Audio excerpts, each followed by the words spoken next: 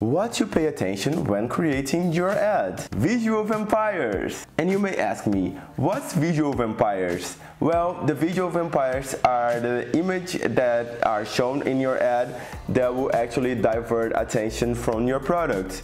And the biggest visual vampire ever is faces. So if you have lots and lots of faces in your ads, most likely people are going to be paying attention to them and perhaps not paying that much attention in your product or your logo or the thing that you want to sell. But I have a question for you.